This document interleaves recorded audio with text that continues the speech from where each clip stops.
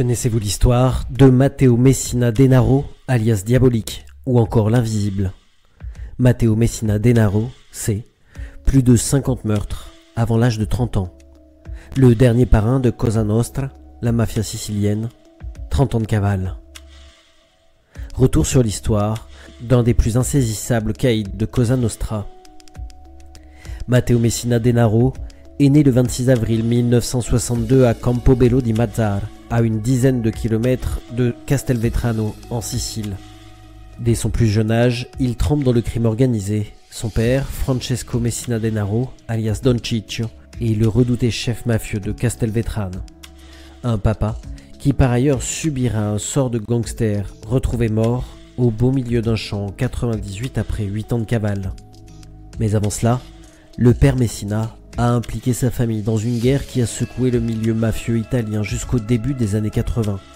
Il a choisi de se rallier à la fureur des familles de la ville de Corleone et de soutenir leur chef, Salvatore Rine, alias Toto, ou la Belva. Matteo Messina a appris à manier les armes à feu dès l'âge de 14 ans, et à 18, il a commis son premier meurtre en collaboration avec son père. Ils ont assassiné un de leurs amis qui avait tenté de garder pour lui l'argent provenant du trafic de drogue. Par la suite, son père s'est allié avec le clan des Corleone et Denaro est devenu l'un des tueurs du boss Totorine, son mentor. Il a éliminé un à un ses ennemis pendant la deuxième guerre de la mafia. En 91, il a assassiné un rival.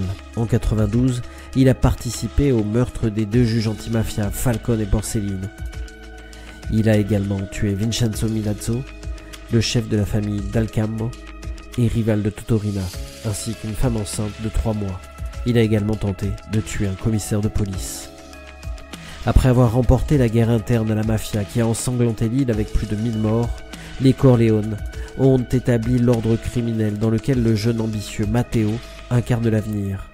Alors qu'il était encore très jeune, il a grandi dans l'ombre de Rina et obtenant, obtenant peu à peu la confiance du chef de tous les chefs. Son père avait été un allié fidèle de Rina, à qui il a confié son fils pour en faire un homme et le former. Le système Corleone était alors une dictature sous les ordres de Rina, une forme d'État en gestation qui utilisait la terreur et négociait ou rivalisait avec les institutions républicaines. Le jeune Messina Denaro est devenu l'un des rouages de cette machine mafieuse. Denaro a commencé à prendre de l'importance au sein de Cosa Nostra et sa réputation sinistre s'est construite sur le sang de ses victimes. Un jour, il a étranglé Antonella Bonhomme, une femme enceinte qui était fiancée à un rival soupçonné d'appartenir au service secret. Une autre fois, il a fait dissoudre dans l'acide le corps d'un adolescent, Giuseppe Di Matteo, qu'il avait enlevé et séquestré pendant 779 jours. Giuseppe était le fils d'un repenti qui en savait trop. Mais pendant que le chef des Corléonais, à Palerme, cherche à imposer son pouvoir à travers des attentats à la bombe et des assassinats ciblés, Messina Denaro mène aussi une vie extravagante. Contrairement aux criminels de la génération de son père, le futur invisible se fait remarquer de manière ostentatoire. Il affiche ouvertement sa passion pour les vêtements de marque, les montres de prix exorbitants et les voitures de luxe. Ousiku, le sec, fréquente des discothèques, séduit et multiplie les liaisons amoureuses. Il traite ses rivaux amoureux de la même manière que ses adversaires dans les affaires. Le 21 février 1991, il tue le directeur de l'hôtel Paradise Beach, simplement parce qu'il osait courtiser sa fiancée, une réceptionniste autrichienne de l'établissement. Au milieu des années 80, les juges du pôle anti-mafia de Palerme, dirigés par Giovanni Falcone et Paolo Borsellino, mènent une guerre acharnée contre la mafia, dominée par Totorine. Leur offensive judiciaire aboutit à l'inculpation de 475 personnes lors du fameux maxi procès de Palerme en 86-87. Dans l'ombre, le puissant Rhin lance une contre-attaque contre l'État sous la forme de terrorisme mafieux. C'est dans cette période de basculement que Messina Denaro entre véritablement en action. Quand il a obtenu la faveur de Rina, celui-ci lui a confié un rôle crucial dans ce que l'on a appelé la stratégie de la violence. Même après l'arrestation de Rina, en janvier 93, Denaro ne renonce pas à la lutte. À peine trentenaire, il devient l'un des instruments de sa vengeance. Diabolique, joue un rôle opérationnel dans la série d'attentats qui frappent l'Italie continentale cette même année 1993 avec des explosions meurtrières à Florence, Milan et Rome. La mafia cherche à exercer une pression sur les institutions d'un pays plongé dans le chaos politique. Entre suicides suspects et révélations de corruption, les affaires s'enchaînent. Inquiété et ciblé par les services de police de l'époque, Messina se cache alors dans la clandestinité. Tout comme l'ensemble de la Cosa Nostra, il adopte une nouvelle méthode et se fond désormais dans l'ombre. L'homme se fait discret et communique à l'aide de pizzini, des messages codés transmis sur de petits morceaux de papier, scellés avec du ruban adhésif. La période de clandestinité va se prolonger. Alors que les assassinats des juges et la violence des attentats entraînent plusieurs vagues d'arrestations, lui échappe à la justice. Cependant, Messina Denaro ne reste pas longtemps caché. Des éléments attestent sa présence dans de nombreux pays étrangers pendant sa cavale. Messina Denaro aurait réussi à voyager sous de fausses identités aux Pays-Bas et au Venezuela. Il aurait même profité d'une croisière en Grèce avec l'une de ses compagnes. Selon plusieurs policiers et magistrats qui le poursuivent, les relations amoureuses sont d'ailleurs l'une de ses rares faiblesses. Ce sont elles seules qui pouvaient lui faire baisser la garde. C'est également pendant cette longue période de clandestinité qu'il est d'ailleurs devenu père. Depuis, sa fille Lorenza, âgée de 26 ans aujourd'hui, a coupé les ponts.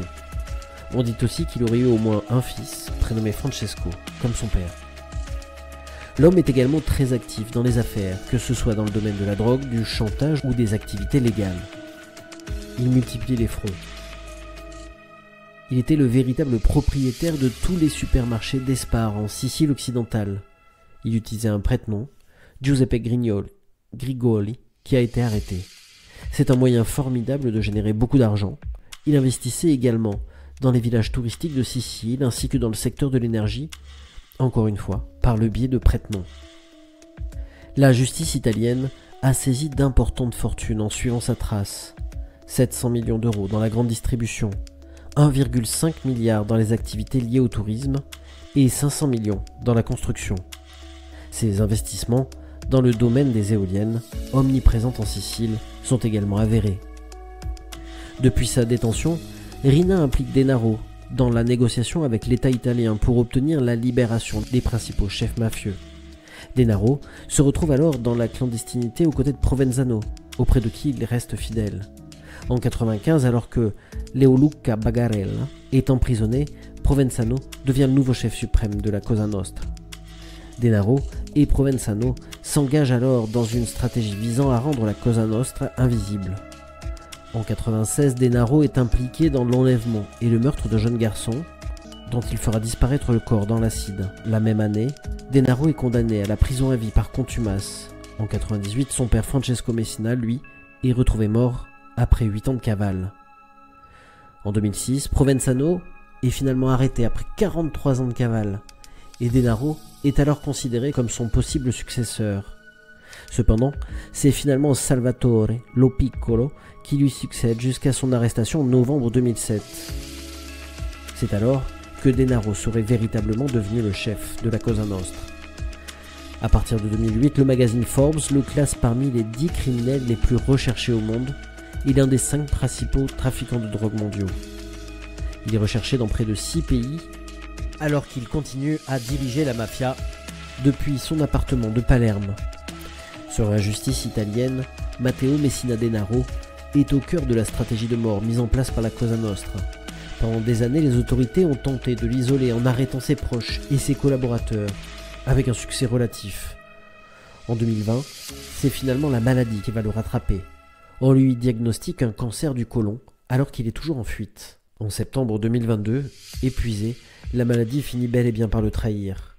Les policiers se penchent sur le cas d'un homme suivi en chimiothérapie dans la clinique privée La Maddalena.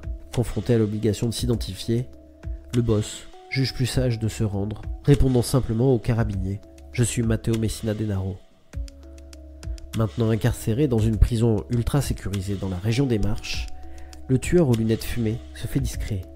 Il détient certainement de nombreux secrets, notamment sur les relations étroites entretenu par une partie de la classe politique italienne avec la mafia.